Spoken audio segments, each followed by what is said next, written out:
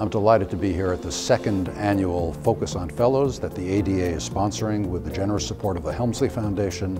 We have approximately 150 fellows from all over the country, uh, many of them in pediatric endocrinology as well as adult endocrinology. And the goal of this program is to try to introduce the fellows to the world of diabetes research that uh, is in front of them. During the course of this uh, two-day program, lecturers from all over the country, uh, active investigators, and they are focusing on issues uh, both in terms of content, specific areas of diabetes research, uh, from clinical trials to genetics. Um, they also provide uh, important information to our uh, fellows uh, who are attending with regard to grant writing and how to sustain their funding during their career. There's been so much literature recently about physician scientists as an endangered species and the vanishing physician scientist that I think it gives people a, a false sense that they can't succeed.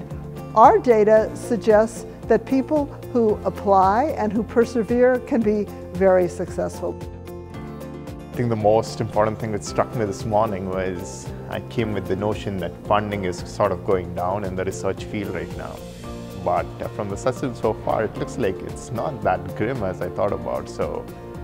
looks to be more promising. Well, I think it's just really helpful to have so many people who are at the forefront of diabetes come together to give us more information, give us advice, and then also I think it's been really helpful to get um, to have one place where all of the potential opportunities are available, or I, I, should say at least a lot of the potential opportunities are available, so we know what all of the options are. Um, and then also, I mean, even just finding out what a lot of the cutting edge research is, what are the clinical questions that are hot topics right now or potentially could become hot topics, all of those in one place I think is just really helpful to help with patients and tell them what's available as well. We really want to invigorate this group. We want to send them out of this meeting with renewed enthusiasm and optimism for what we hope will be sterling uh, careers in diabetes research.